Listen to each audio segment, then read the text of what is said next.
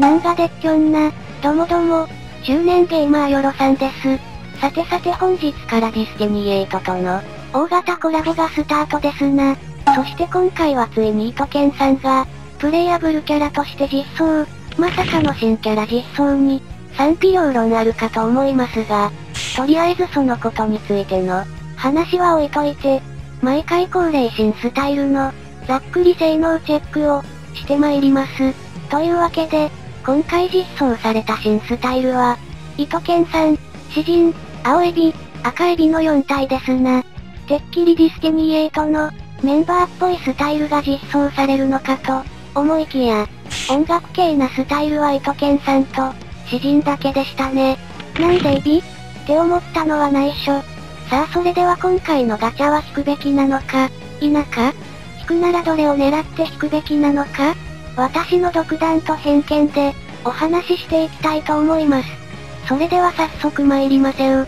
ということで、まずはじめにチェックして参りますのは、今回まさかの新キャラとして、実装された糸剣さん、てっきりコスプレした SS 軍師が、実装されると思っていたのですが、まさかの本人実装でございました。さてさて、そんな感じで斜め上の、チョイスで実装された糸剣さん、果たしてその性能は、いかがなもんでございましょスタイルレベル50での補正値は、こんな感じでございます。何かに特化しているという感じではない捨て補正。強いて言うなら精神と愛が、高めといった感じですかね？合計の補正値は550%と、結構高めではありますが、平凡なステータスのスタイルといった印象ですな。糸剣さんのスキルについて、BP5 で使える味方全体に、ファストで腕力、器用さ、知力、愛を中アップさせる激闘の、律動。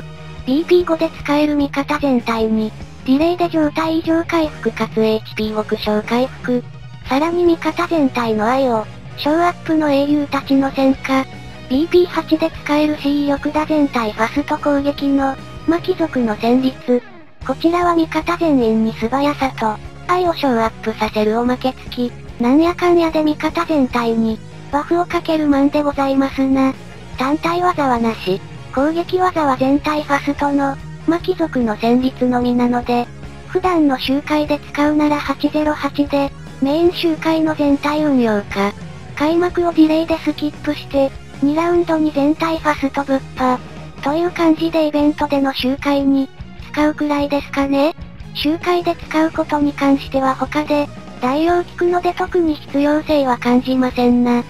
というわけで激闘の律動や、英雄たちの戦果を使っての、運用がメインになりますな。激闘の律動は西王様の歌では上がらない器用さに、バフがかかるのがいいですな。しかし、素早さにバフがかからないので、ちと微妙な感じ。腕力、器用さ、知力、素早さにバフがかかる歌なら必須級スタイルでしたね。虎血人で使えば、とも、思いましたがその場合ファストが、邪魔。英雄たちの戦果は状態異常攻撃が、きつい高難度クエでワンチャン輝きそうな感じ。魔貴族の戦率でファストで、素早さバフを入れて、あとは激闘の律動、もしくは魔貴族の戦率を、ひたすら使うといった感じの運用ですかね。開幕から素早さをバリバリ盛りたいという時に、西王様、海主娘、伊藤さんの3枚体制で、仕事していくといった感じですな。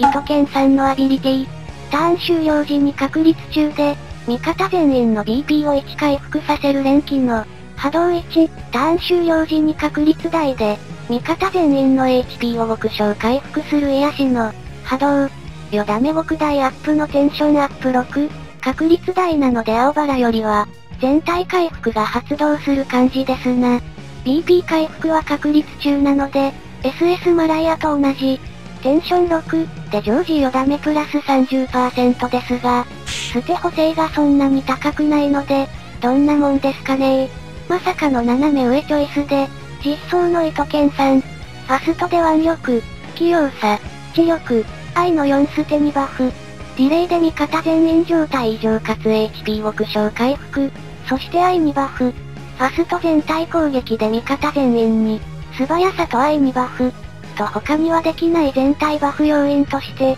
活躍できそうです。が、激闘の律動に素早さバフがなかったのが、残念ですな。高難度の開幕で素早さバフを、多く盛りたいなら採用。といった使い方ですかねアビリティで味方全員の、BP や HP 極小回復もあるので、そういった面でサポートすることも、可能かと思いますが、そこまで必要なスタイルというわけではなさそうです。糸剣さんが大好き、という人以外は無理に、引かなくても良さそうです。続きまして、ロマサガ3スタイルの詩人。去年のウルトラデラックス、正月と続いて3体目の、詩人スタイルですな。リクエストに応えて、実装らしい詩人の新スタイル。果たしてその性能は、いかがなもんでございましょスタイルレベル50での補正値は、こんな感じでございます。腕力が91%プラス13と、結構高めの補正値ですが、腕力補正に関しては正月スタイルの方が上ですな。器用さ、素早さ、知力は過去スタイルより高い補正値です。詩人はアビリティから確認オーバー。敵を倒した時に味方全員の BP を1回復する連撃の波動1、攻撃命中時に自身の HP 極小回復かつ自身の BP1 回復の吸収の連期1、よだめ極大アップのテンションアップ6、自分と味方の BP を回復させるマンといった感じですかね攻撃を当てることができれば、実質毎ターン BP4 回復。色々と調整が必要ですが、敵を倒すことができれば、確定で味方全員の BP プラス1ですので、うまく使えば唯一無二の活躍ができそうなスタイルですな。詩人のスキルについて、BP4 で使える B 力打量単体攻撃のしびれ音、確率でスタン付与と精神デバフ症のおまけ付き、BP8 で使える C 力打全体攻撃の幻想ララバイ、確率で眠り付与、精神デバフ症のおまけ付き、BP9 で使える SSS 威力打単体攻撃のドラ鳴らしプラス、アビで攻撃命中させれば、BP プラス1があるので、攻撃を当てることができれば、開幕でドラ鳴らしプラスを、使った後、痺れ音で継続火力を、出すことも可能です。過去スタイルから継承することで、3ターン全体運用も、可能です。また正月スタイルから藤落とし鉢を、継承すれば、全体モラルアップ中不要、ループすることが可能。武装弦学祭も過去スタイルよりは、多くループさせることができそうです。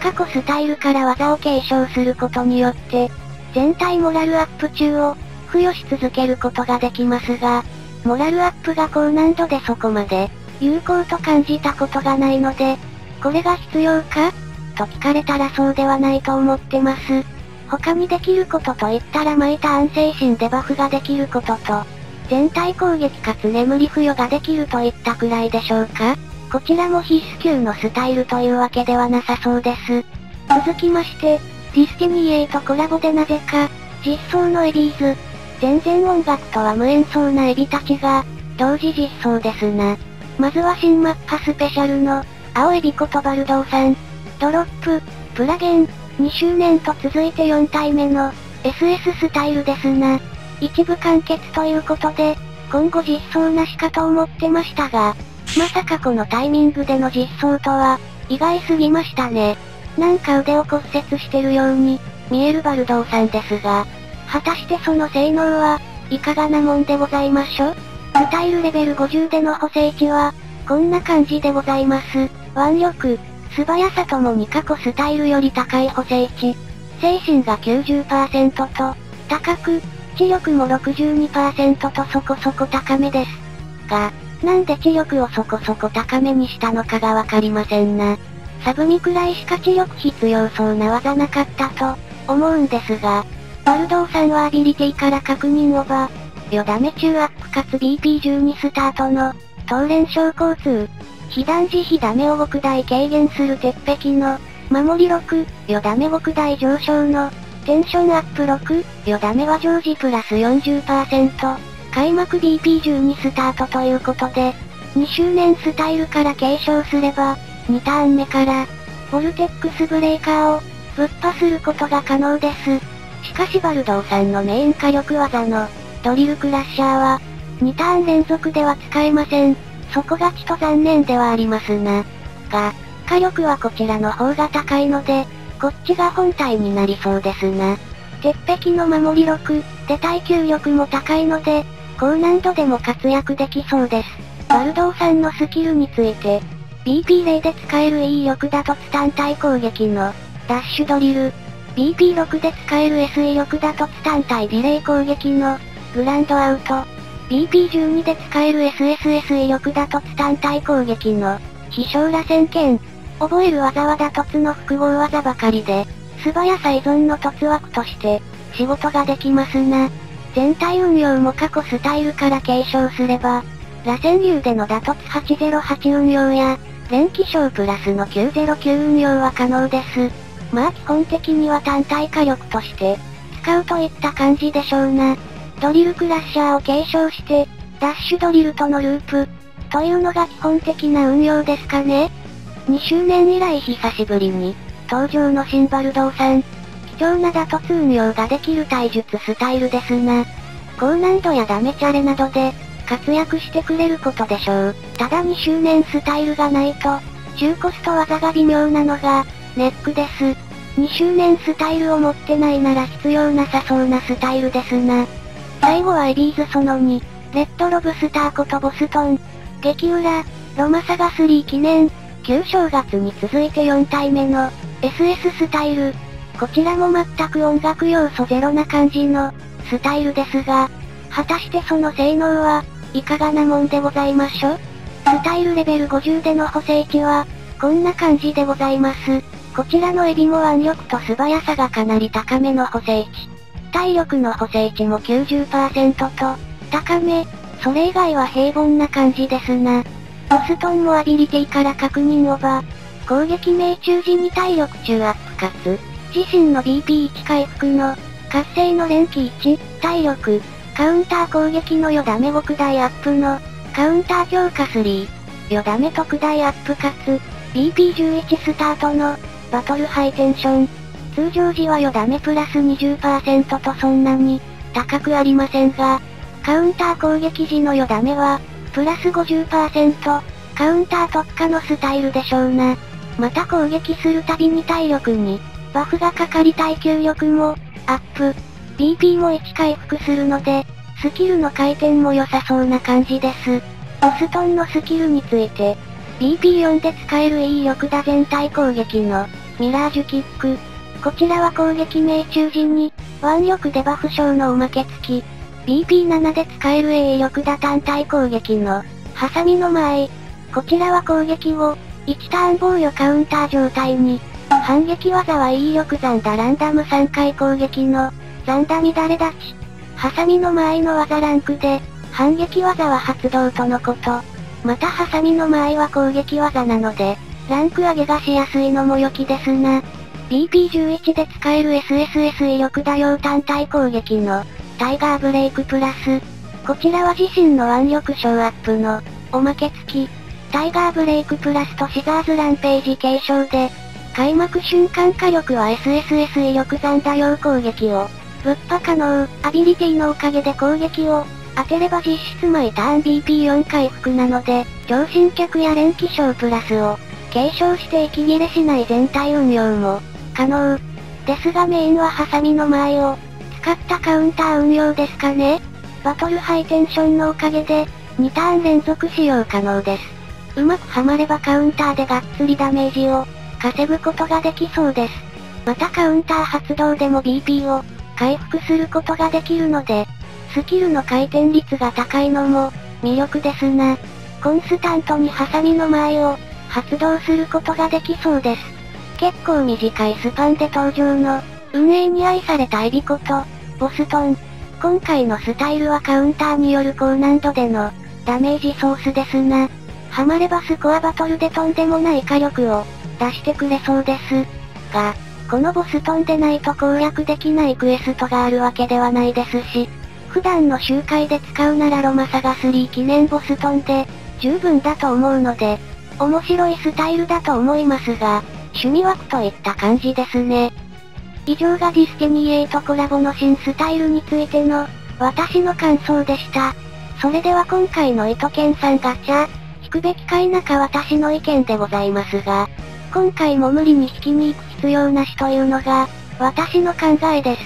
2周年の青エビをお持ちならば、青エビは欲しいかなといったところでしょうか？私は特に欲しいスタイルもないので、今回はスルーの予定でございます。今月末から始まるであろう9月の、お祭りに向けてジュエルを温存いたします。以上、ディスティニー8、ロマンシングフェス、糸剣3編、ざっくり性能チェックのコーナーでございました。まああくまで私個人の意見でございますので、適当に聞き流していただければこれ幸いでございます。それでは、また次の動画でお会いいたしましょう。最後までご視聴いただきありがとうございました。では、